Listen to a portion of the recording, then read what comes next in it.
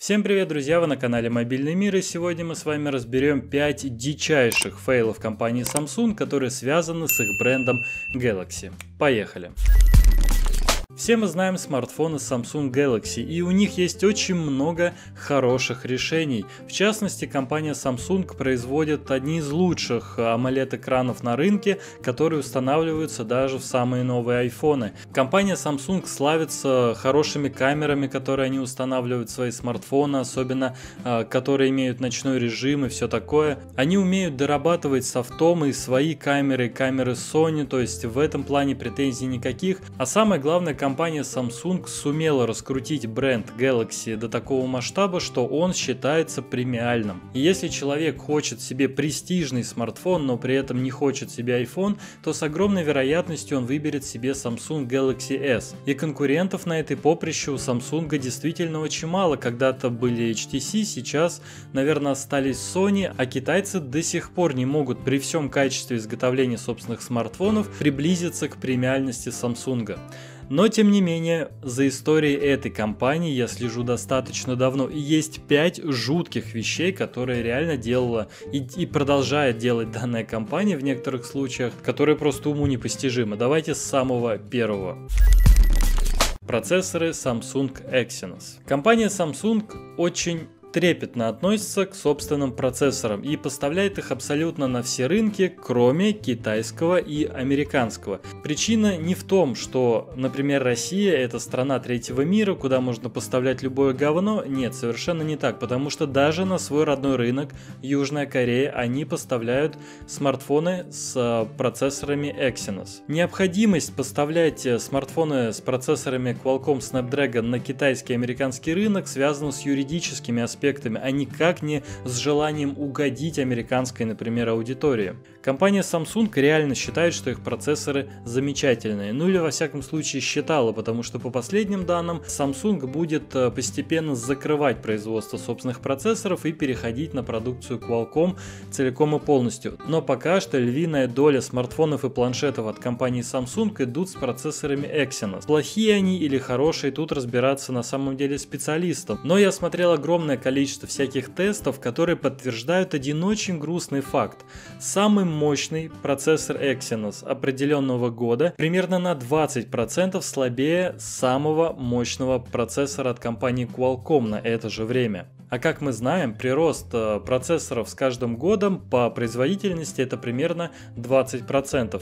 Другими словами, самый мощный навороченный э, смартфон от компании Samsung будет по производительности примерно как самый мощный э, смартфон на процессоре от Qualcomm предыдущего года. То есть смартфоны на процессоре Exynos отстают по производительности от флагманов на Qualcomm Snapdragon примерно на год. И это очень серьезно, потому что Samsung стоят дорого, это дорогие смартфоны. Galaxy S20 стоит примерно 60 тысяч рублей и имеет производительность на уровне вот этого Xiaomi Mi 9, который имеет 855 Snapdragon. Это очень грустно, потому что через 2-3 года вы явно ощутите в какой-то степени недостаток производительности, когда обновится система, когда появятся более технологичные приложения и все такое.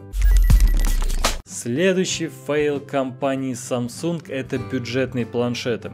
Вы знаете, вот есть есть плохие вещи, там геноцид, э, нацизм, э, расизм, обратный расизм, э, преклонение коленей перед э, темнокожими людьми, когда ты ничего им плохого не сделал. Вот есть очень много плохих вещей, но есть еще бюджетные планшеты от Samsung. То есть вот это самое худшее, что можно, наверное, представить. Во-первых, они тормозят с самого начала. Вы когда-нибудь пытались подойти в каком-нибудь магазине к витрине Samsung и потыкать планшет, который стоят дешевле 40 тысяч рублей.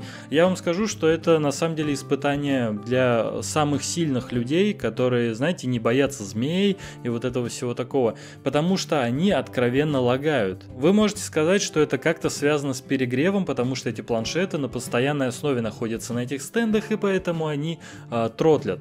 Но у меня был в пользовании бюджетный планшет от Samsung. Это больно, потому что все постоянно вылетает. Обновление не приходит от слова совсем. Если вы покупаете бюджетный планшет от Samsung, и на нем стоит какая-то определенная операционная система, там Android 10, будьте готовы к тому, что это его последняя операционная система, и никогда в жизни вы не получите обновление на него. Ну и плюс ко всему, с точки зрения дизайна, дешевые планшеты от Samsung это плохо. Ну, то есть, прям плохо. Такое чувство, будто они специально берут свой э, дорогой, хороший планшет, который редко выходит из-за непопулярности, в принципе, планшетов на андроиде во всем мире. Но они берут свой самый красивый, самый технологичный, классный планшет и уродуют его, чтобы, ну, как бы люди и дорогой, чтобы тоже покупали, а вот э, чтобы нищеброды брали дешевый, и они так смотрели на него. Ну, это параша, да, ну это параша стоит 20 тысяч рублей, ну и ладно как-то так. В общем, как мне кажется, дешевые планшеты от Samsung это кошмар, и это фейл, действительно фейл. Очень многие производители умеют делать симпатичные и при этом не самые отвратительные по производительности оптимизации Android планшеты. Например, Lenovo может сделать э, планшет за 20 тысяч рублей, от которого, от которого тебе не стошнит, когда ты возьмешь его в руку. Huawei умеет делать планшеты с приставкой Lite, которые тоже стоят дешево, не особо производительные, сильный, но при этом от них не тошнит. И Естественно, Xiaomi со своими Mi Pad'ами выглядит очень прилично и не вызывают э, рвотных позывов. Та же самая компания Apple э, со своими самыми бюджетными iPad'ами там 2018-2019 года, которые стоят меньше 25 тысяч рублей, ими вполне комфортно пользоваться, они нормальные, пускай с плохими экранами, но они производительные, они металлические, они нормально выглядят, их не стыдно достать. Samsung это кошмар. Идем дальше.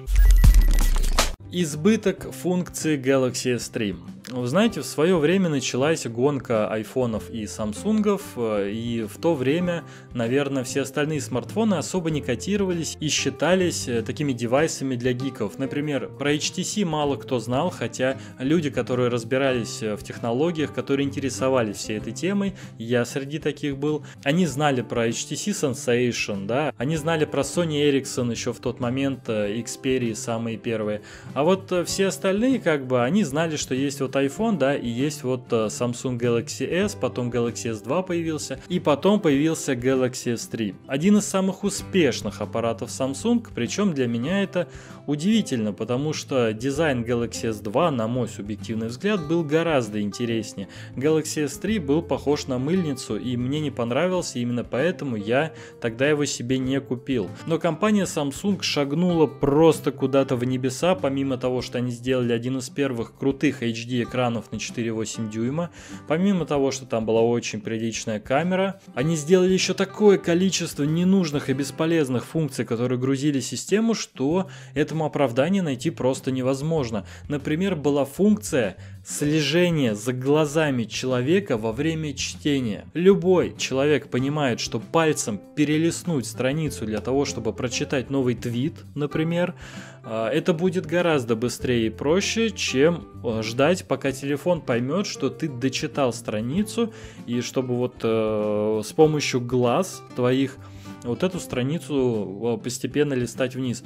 Это глупо. И я думаю, что в Samsung работают не идиоты, просто у них такой подход. Они постоянно давят на технологичность. То есть каждое их новое устройство это бум технологий. Невероятные камеры, это невероятная скорость оперативной памяти, это самый лучший экран на рынке, это самые лучшие софтовые решения. Но бывает такое, и очень часто у компании Samsung, что вот это вот самое-самое лучшее, это всего лишь маркетинг, который не применим в реальной жизни. Именно поэтому Samsung частенько ругают за то, что они вроде как делают вау-вау-вау, все супер, все самое крутое, но на деле этим никто вообще не пользуется. Но Galaxy S3 это было нечто. Когда я впервые увидел эту технологию слежения за глазами, я подумал, блин, ну вы совсем что ли? Ну, ну а что, что дальше? Телефон начнет тебе петь колыбельную, если поймет по твоим движениям на кровати, что у тебя бессонница, это странно.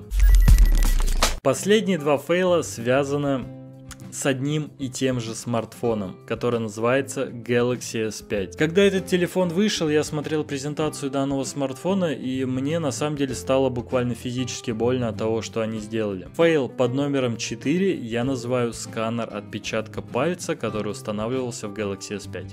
Объясню в чем дело. За несколько месяцев до выхода Galaxy S5 компания Apple показала iPhone 5s, у которого была киллер фича, которая до сих пор используется во всех практически смартфонах, э, кроме э, айфонов, кстати сканер отпечатка пальца. И компания Apple сделала то, что делает всегда. Берет технологию, которая уже существует, и делает так, чтобы ей было удобно пользоваться. Ни для кого это не секрет.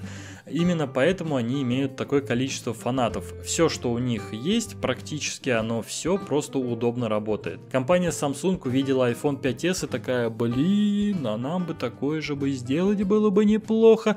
Но дело в том, что классные технологии не разрабатываются за 2-3 месяца или даже за полгода. Для этого требуется идея, в первую очередь, время на реализацию и доступные технологии. Компания Samsung лучше бы не ставил сканер отпечатка пальца в э, смартфон Galaxy S5, потому что они сделали самый убогий сканер отпечатка пальцев за всю историю Android смартфонов. Они поставили тот же сканер отпечатка пальцев, который многие видели в, в коммуникаторах начала 2000-х. Это когда тебе надо проводить по сканеру, не прикладывать, а именно проводить. Естественно, не было у компании Samsung времени для разработки вот такого же классного сканера, как был в iPhone 5s, и они сделали то, что делать было не надо уродский, никому не нужный и отвратительный, от которого все плевались, сканер отпечатка пальцев. И пятый фейл, который также связан со смартфоном Galaxy S5, это его дизайн. Ребят, вот есть отвратительные некрасивые смартфоны. Они есть, например, HTC Evo 3D когда-то был очень-очень стрёмный смартфон. LG G4 мне не очень нравится, но вот Galaxy S5 это апогей отсутствия дизайнерской мысли. Мне кажется, если бы Артемий Лебедев э, рисовал Galaxy S5, он все равно бы сделал лучше. Задняя крышка пупырчатая в премиальном смартфоне. Пупырчатая пластиковая задняя крышка. И цвета там были совершенно отвратительные. Я не понимаю, кто это покупал, кому это нравилось. Потому что вот это было очень похоже на вот это, то есть на внутреннюю сторону крыши ВАЗ-2106. И знаете, что еще самое интересное? Они решили в Galaxy S5 добавить влагозащиту. То, чего не было в Samsung до этого, наверное, да, наверное, ни разу. Но они решили не мудрствовать лукаво и просто поставить отвратные заглушки. Компания, которая говорит о том, что она развивает технологии во все стороны, поставила в свой самый мощный и самый флагманский на тот момент смартфон Отвратный дизайн, ужасный сканер отпечатка пальца и заглушки, которые мы видели еще в Sony Xperia несколько лет э, тому назад.